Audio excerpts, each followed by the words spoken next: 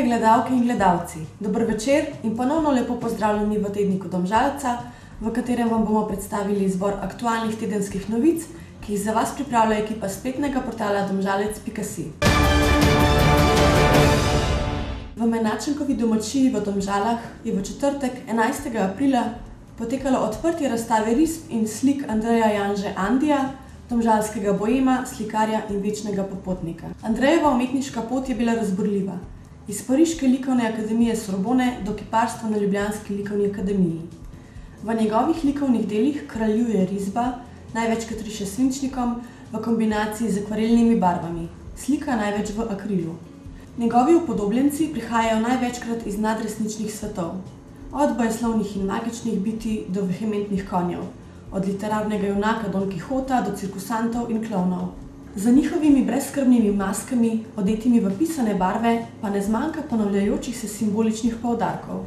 Klovni s prisotnostjo večnega humorja in cinizma, Don Kihotovski tragični konflikti s svetom, konji kot utelešenje svobode in življenjske energije, ki jo je treba znati jezditi, in tako dalje. Razstava bo v Menačenkovi domačiji na ogled do osemnajstega maja. Minuli vikend so Kulturni dom Moravče osvojili mladi glasbeniki. Pod okriljem Šolskega sklada Osnovne šole Jurija Vege Moravče je v dveh večerih potekal dobrodelni koncert Združeni v glasbi, na katerem so moči združili mladi glasbeniki in pevci. To so otroci, ki so svojo glasbeno pot začeli v glasbeni šoli ali pa jih je ljubezen do glasbe navdušila, da so začeli igrati in peti. Za ta koncert jih je združila želja, da pomagajo pa vsako skladbo pa so s svojim igranjem in petjem vdihnili življenje. Šolski sklad je namenjen vsem otrokom Osnovne šole Jurija Vege, zato so se jim pridružili še otroci s podružnične šole Vrhpolje in vrtca Moravče. Mlade na odru je družila glasba in prijateljstvo ter želja pomagati. Vse, kar so tega večera pričarali mladi, je bilo nagrajeno z bučnim aplavzom. Pred kratkim je v Radljah ob Dravi potekalo državno prvenstvo v latinskoameriških plesih dva tisoč devetnajst. V seniorski kategoriji sta naslov državnih prvakov osvojila Natja in Marko Orehek iz Vira pri Domžalah, sicer člana plesnega kluba Feniks iz Ljubljane. Zakonca Orehek sta družabni ples nadgradila v tekmovalnega in se že vrsto let udeležujeta mednarodnih tekmovanj pod okriljem Svetovne plesne zveze. Ples jemljeta kot obliko rekreacije in zabave ter obenem sproščanja od vsakdanjih problemov. Za razliko od standardnih plesov, kjer plesalca plešeta v stalnem kontaktu in v zaprti drži, omogočajo latinskoameriški plesi več svobode in individualnega izražanja plesa.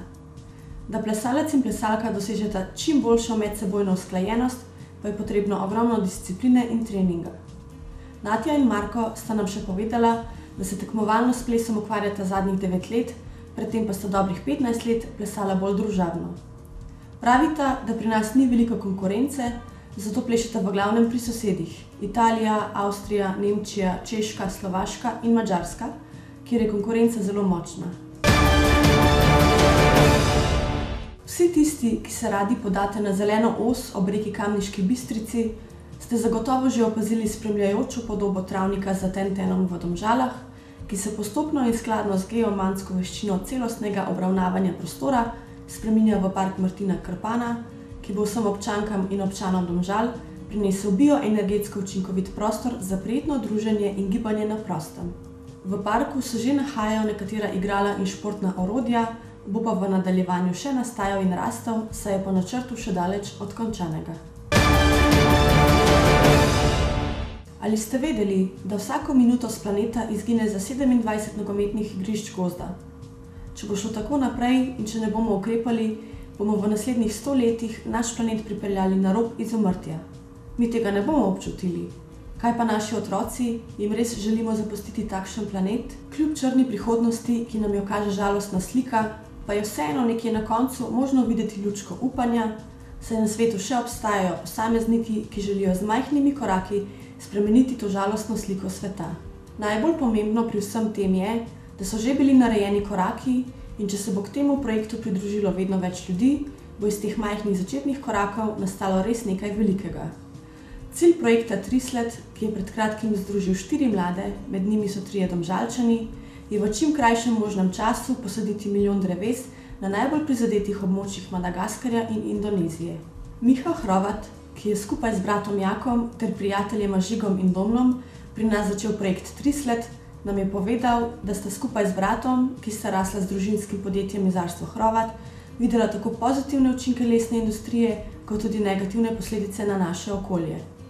Lansko leto je njihovo družinsko podjetje postalo CO2 neutralno podjetje, kar pomeni, da posadijo več dreves, kot jih porabijo v podjetju, poleg tega pa s sajenjem dreves nadomestijo tudi porabo elektrike in toplogredne pline, ki nastajajo ob uporabi njihovih vozil. Odrasli domžalski skavti so tudi letos pred cvetno nedeljo poskrbeli, da butara velikanka stoji pred cerkvijo in naznanja, da se bližajo velikonočni prazniki. Priprave za izdelavo se ponavadi začenjajo vsaj teden dni prej, saj je potrebno nabrati leskove veje, bršljan, oljčne veje in ostalo zelenje. Že tradicionalno so se skavti zbrali na domačiji pri Pavlijevih. V veselem in kreativnem vzdušju so smukali liste bršljana, prepletali veje, da je nastala desetmetrska butara, narejena iz sedmih vrst lesa, okrašena tudi s tribarvnimi trakovi, ki so jo po izdelavi na ramenih prenesli in postavili pred domžalsko cerkev. Butara velikanka na Goričici že naznanja, da so velikonočni prazniki pred vrati. Za pravo velikonočno vzdušje so minulo soboto na domžalskem tržnem prostoru poskrbeli tudi člani turističnega društva Jarša Rodica, ki so predstavili prikaz izdelave oblatov. Na tržnem prostoru so postavili še butaro velikanko, pri postavitvi pa se jim je pridružil tudi domžalski župan Toni Dragar. Domžale so ponovno obiskali predstavniki naše republike Prlekije, ki so svojo kulinariko in glasbo poskrbeli za pravo prleško vzdušje. Na prireditvi so sodelovali tudi rokodelci iz Bele krajine, ki so pripravili prikaz izdelave belokranjskih pisanic, s seboj pa so imeli pestro ponudbo belokranjskih dobrot. To je vse za šestič, se vidimo naslednjič. Ponovno vabljeni v našo družbo prihodnji ponedeljek ob dvajseti uri. Seveda pa vabljeni k rednemu spremljanju novic na našem spletnem portalu domžalec.si, na katerem boste našli tudi koledar prihajajočih dogodkov.